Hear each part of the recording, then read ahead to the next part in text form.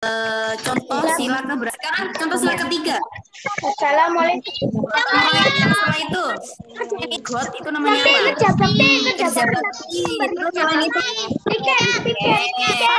Persatuan yang bersatu.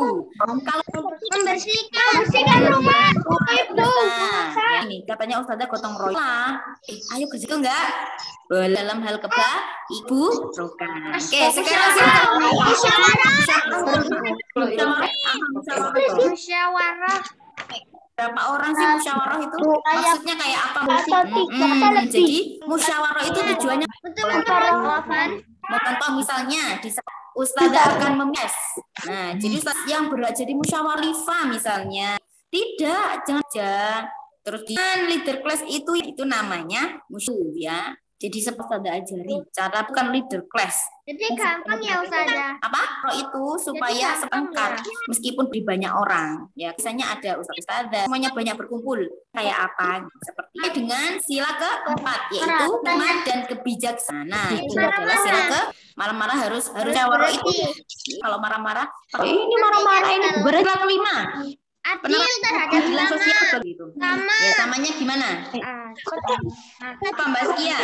Adil itu Ya apa? Apa sih sebenarnya saya tahu, tapi Mas Bani mungkin, Mas Al-Fatih. Sesuai dengan kebutuhan sehari-hari.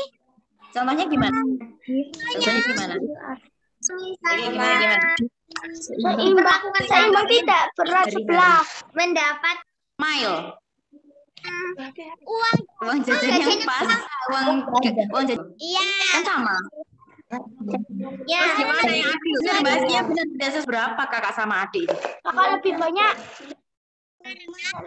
Soalnya kakak kebutuhan. Nah, kakak kakaknya lebih berapa banyak. berapa misalnya? Adiknya, Mas Almas kalau jajan dibanding dua kali lima. Lima. Lima. ratus rupiah lah kasihan Mas. Dapat apa? Dapat tehnya Mas. Almas ya Mas? Almas dapat lima ratus. Lima ribu. lima ribu. Almas, iya Mbak Fit, iya nggak sampai pebit. Ayo, Bedakan.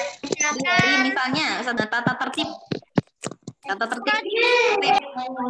Eh gimana ayo siap. Penjelasan saya ya. Jadi eh, bisa diwujudnya Mas Almas dapat uang. Itu itu adil karena kebutuhannya ber eh, segitu di bawah kebutuhannya ada lagi contoh melakukan eh, Ustazah akan memberi smile lengkap. Ustazah akan kasih Pak adil yang tidak tertib. Bisa berupa bisa diambil sendiri suruh baca surat itu ya. Jadi adil oke? Oke anak kita besok lagi. Ada pertanyaan kita sudah belajar tentang apa ini? Ada tugas. oke tugas aja ya mengerjakan hmm, pendapat. Halaman berapa? oke sebentar. Yang mengerjakan halaman Oh, ini. oke me ya kejawab Mas Almas benar kalau nggak ada pertanyaan Ustazah yang tanya Sampingnya tulis pendapatmu. Belalang. tadi dibaca tentang belalang dan juga sikap yang batasnya sampai contoh saja. Jadi hanya menjawab tiga anak-anak. Sekarang saya yang tanyanya supaya penasaran ya. Bagaimana? Halo kelas gimana? Bagi jajan. saling berbagi Oke, selain Mas Mbak. Bagi PR. Dalam-dalam tur. Oke. Sudah ada? Nggak ada yang mau menjawab? Mendapat hasilnya itu Hmm, pikir. Terus? Menghasikan impas. Nah, ya deal dengan teman. Misalnya ya, hari Senin, Mbak Zalfa, Mbak nah, Mbak Zalfa itu in lokernya sendiri. Sikap yang tidak adil. Yang ada satu kelas ya dibantu. Nah, semoga bermanfaat. Kita jumpa. Oke, mari kita tutup dengan doa. Assalamualaikum. Waalaikumsalam.